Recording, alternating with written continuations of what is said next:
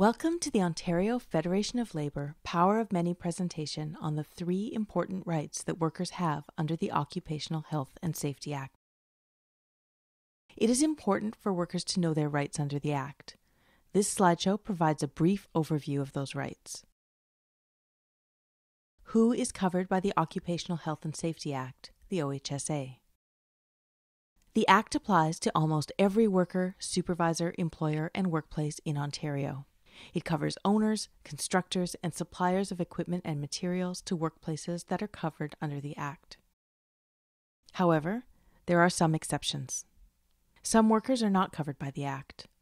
They include owners or occupants or servants working in individual private residences or on the land surrounding them. Some places are covered by federal jurisdiction, and so they're not covered. That said, some outside contractors and employees are covered under provincial jurisdiction, even if they're working in a federal workplace. Here are some examples of federal workplaces and how they're regulated. Federal workplaces include workplaces like post offices, airlines, airports, banks, certain grain elevators, telecommunications, and any sort of interprovincial transportation. Trucking, shipping, rail, and buses are all covered under the Canada Labour Code, which is administered federally through Employment and Social Development Canada. Now let's talk about the three rights that workers fought for and gained many years ago so that you have the understanding you need to protect your health and safety in your workplace. The three fundamental rights of workers under the Occupational Health and Safety Act are the right to know, the right to participate, and the right to refuse. Workers have fought to obtain these rights. Let's run through them and how you exercise them in the workplace. The right to know includes the right to receive training so that you can do your job safely and understand the health effects of hazardous exposures, such as chemicals or toxic substances found in many workplaces. This could include exposure to coronavirus. The right to know also means that workers must receive information on many types of hazards, including machinery, equipment, or violence and harassment, which is unfortunately all too common in workplaces today. The right to know also means workers must be provided with information about what to do in the case of an emergency or injury. Injury and illness need to be reported to the employer so action can be taken immediately. The next right we're going to look at is the right to participate. All workers have the right to participate under the Occupational Health and Safety Act. This right means that workers have a say in helping to make and keep the workplace safe and healthy. In a workplace with 20 or more employees, the right to participate is primarily exercised through a joint health and safety committee. On that committee, half the members are workers who have been selected by other workers in that workplace. For workplaces that are smaller, between 6 and 19 workers, there must be a health and safety representative. Again, that representative must be selected by the workers to represent them.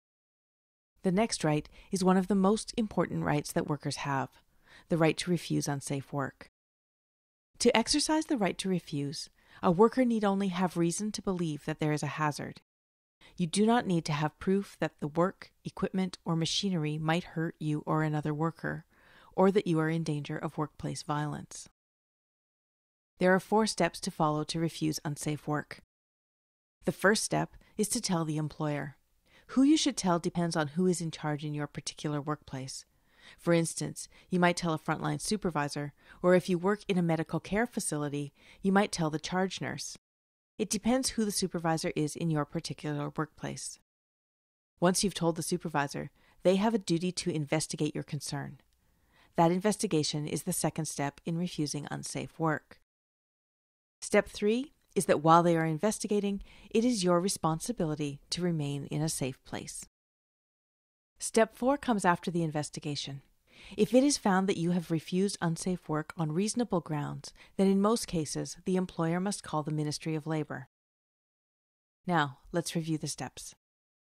First, tell your employer about the hazard and that you are refusing work until it is investigated. Remember that you do not need to know the exact section of the Occupational Health and Safety Act, only that you have a concern and will not work until that concern is resolved. The employer then has a duty under the law to investigate. This is step two. Depending on the size of the workplace, they must do so with a member of the Joint Health and Safety Committee or the Health and Safety Representative. Step three is that while the investigation into the hazard is happening, you need to remain in a safe place near your workstation until the investigation is complete. There is one exception in this step, and that is in the case of workplace violence. In those cases, you must go to a place where you are no longer at risk of violence. And step four if the investigation by the employer and the worker representatives finds no reasonable grounds and you still believe that the work is hazardous, your employer must call the Ministry of Labor so that an inspector can investigate and render a decision. There are some limitations on the right to refuse. These limitations include people working in hospitals, long term care homes, paramedics, firefighters, police, corrections workers, and teachers. These are jobs where the circumstances of their work have risks as a normal condition of employment. For instance, a firefighter couldn't refuse to enter a burning house because it's part of their job to help put out the fire. For these workers, a work refusal would directly endanger the life and safety of another person.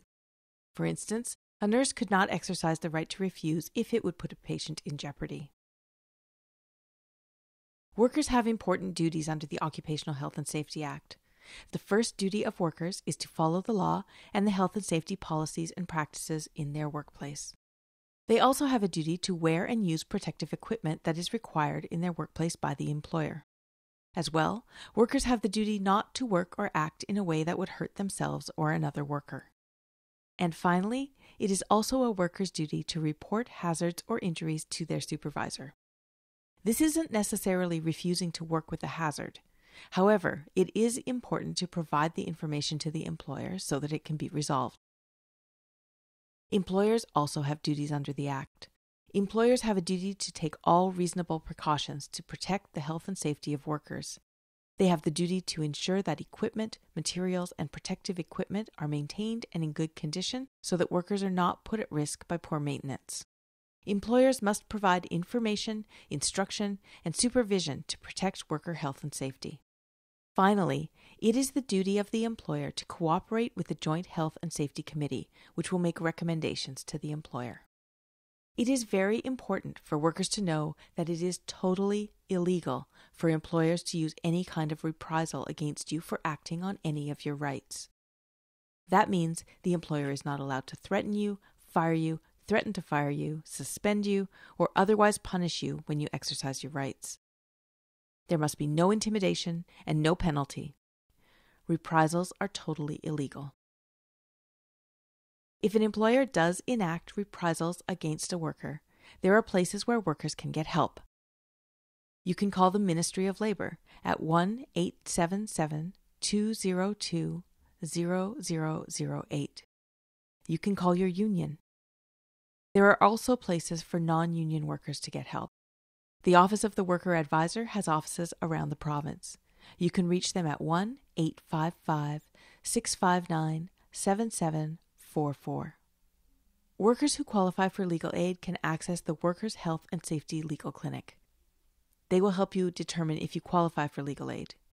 You can reach out to them at 1 877 832 6090. For more resources, including training, reach out to the Workers' Health and Safety Center, which provides hazard based training to give workplace representatives the knowledge and skills they need to proactively identify, assess, and control, if not eliminate, hazardous working conditions. Prevention Link provides training on a range of topics beneficial to all parties in the workplace and essential to workers' compensation and disability accommodation. Resources are also available from the Occupational Health Clinics for Ontario Workers, OHCOW, which strives to address occupational hazards and promote the social, mental, and physical well being of workers and their families. The organization's aim is to protect workers and their communities from occupational disease, injuries, and illnesses. Workers and their representatives continue to lobby to gain enhancements to the Occupational Health and Safety Act and health and safety regulations. Every worker should have a safe and healthy workplace.